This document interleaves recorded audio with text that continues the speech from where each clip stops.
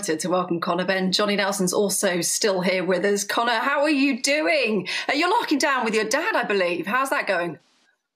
Yeah, it's going all right. I mean, it's uh, it's a crazy time for everybody, but being locked down with my dad's a blessing. Really, it's uh, it's nice to have him here. Absolutely. I mean, I guess you guys are training together. Is that the case? Yeah, he trains like a lunatic. I mean, he trains twice a day uh, in the morning and in the evening, every single day without fail you know, so it's uh, it's inspiring. Absolutely. I mean, your, your boxing backstory is, shall we say, slightly different to most. You had a rather privileged upbringing in Australia, decided to pack all that yeah. up and come over here to to go into a game that's hard, it's grueling, it's by no means an easy sport or a job to get into. What what was that decision? What made you want to do that? Was boxing always the choice for you? Nah, definitely not. I mean, I was as far from a fighter as you can imagine. Uh, I used to love skateboarding. I used to listen to Avenged Sevenfold, had the ripped jeans, rode my BMX, my rollerblades, go to the skate park.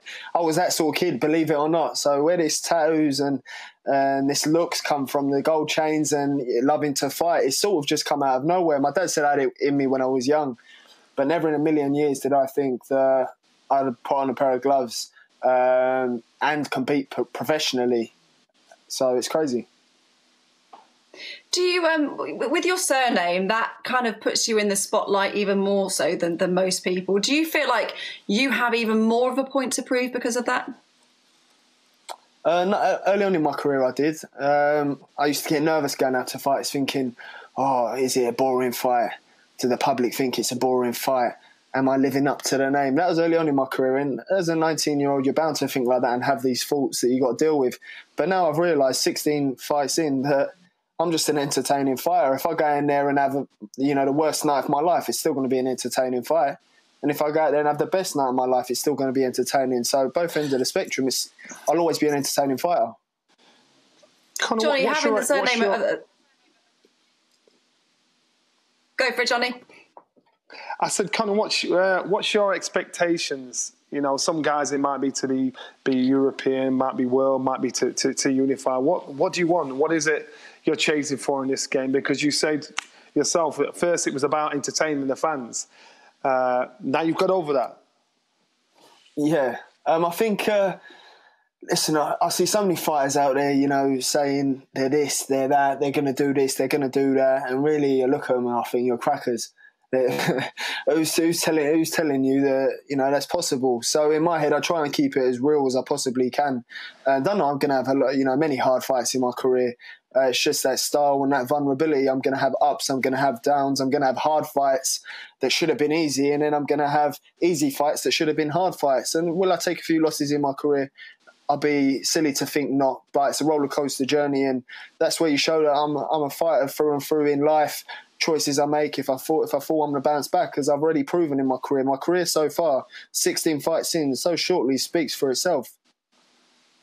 Conor, you just mentioned there about the roller coaster of a career and the ups and downs that you've had. I mean, you, you, yourself, you've had some lengthy layoffs, but every time you've had that layoff through injury, you've come back even stronger. You've rebuilt and sort of gone back to basics, and, and you're even better. But I want to know during that time, did you ever think about walking away? Have you ever thought about sort of saying, right, enough's enough?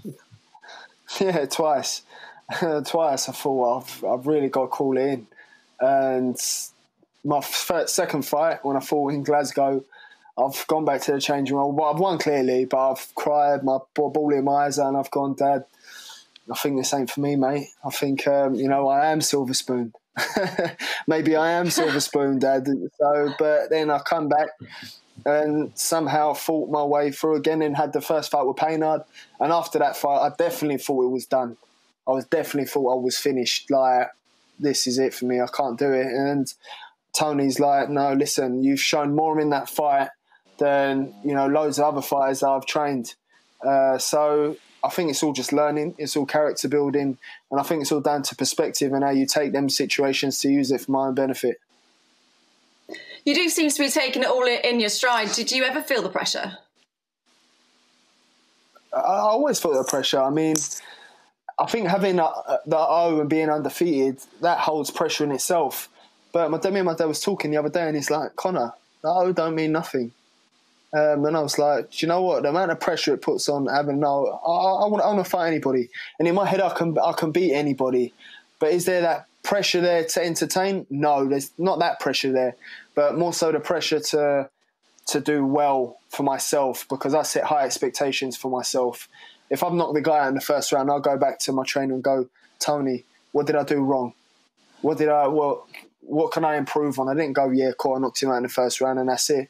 What did I do wrong, Tony? Did I set it up right? Did I throw this shot right? Did I twist with my hips? So all these things we work on.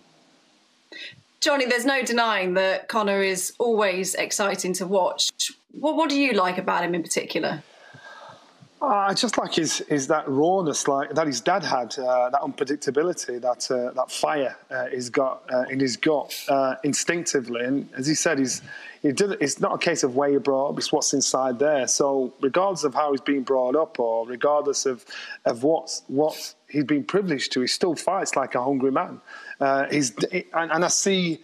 I see his dad in him so much, and and again, I'll, I'll repeat that when his dad uh, first came on the scene as a professional, the criticism he got uh, was was everybody gave it him. Then all of a sudden, when he got the success, people understood where who Nigel Benn was. Now with Conor Benn, Conor Benn is exactly the same. He's unpredictable. He's raw. He's he's got a spring in his step when he lets those shots go from every angle going. So I like that aggressiveness, unpredictable aggressiveness about him because it's something you'd find very hard to tame if you've not got your wits about you, if you're not fit, if you've got, uh, uh, if you, you have answered every question there in your heart. I like that. And, and so I'm excited every time I see him box because I learnt the mistake of doubting his dad uh, and seeing what his dad achieved. So now, Conor, I'm thinking I see exactly what path you're on. I think Matt Macklin said it, didn't he, in commentary once? What's what's in the cat is in the kitten, which I think is a great expression for you, Conor. That is indeed. Quick question, Johnny. So, when I first turned pro, from your perspective of how you thought I was going to do, because I know you keep it real with me, from when I first turned over, what did you think in comparison to now? But you got to be honest. I'll, I'll, take the I'll take the harsh truth. I'll, I'll be totally honest. So each time you've had time off through an injury, or whatever, you come back with something new boxing ability, jab, movement, being a bit smart, being a bit patient, because sometimes when you're out of the trap, you bang straight on it. So now you're starting to think a hell of a lot more. And I see a development and improvement in every fight I see going on.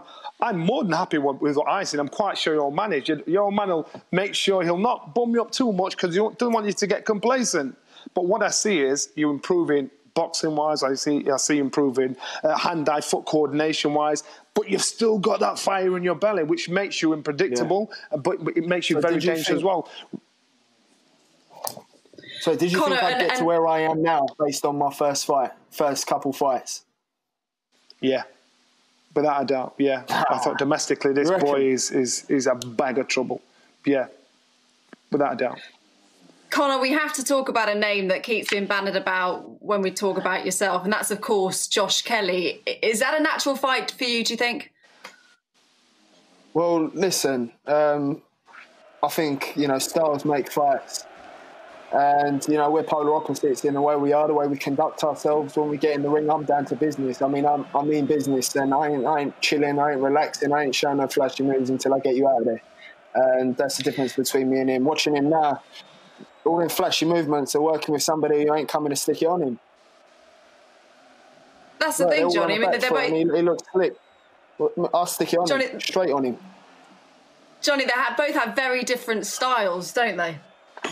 And that's why this a fight between those two will be so intriguing, and it'll be it'll be eh, chalk and cheese. One's a boxer, wants to be cute and box fight, and one's a fighter that will put you on it. So therefore, uh, uh, if, if, Josh Kelly gives him space, gives him gives him time to, to roll onto him, that's the worst thing you could do. And, and what's going to happen with these two is they're going to end up meeting in the ring, and it's going to be about egos, it's going to be about want, it's going to be about desire, uh, and I think it'll make for a, a perfect matchup. I, I don't think it, there'll be nobody hiding, uh, and I think it'll be this could be a fight of the year fight with these two because they have got so much in them, uh, um, uh, want wise, desire wise. Uh, I'd love to see it. Who starts as favourite, Johnny? Very quickly.